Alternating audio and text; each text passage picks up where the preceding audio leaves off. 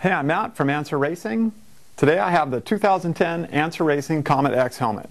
The flagship of the MSR Helmet Corps, the Comet X, is crafted with a lightweight, precision molded carbon fiber Kevlar shell with a molded in-dome crest for increased structural integrity. It's got a full EPS comfort liner, has a quick snap feature so it's easily removable and washable, and is made with moisture wicking fabrics.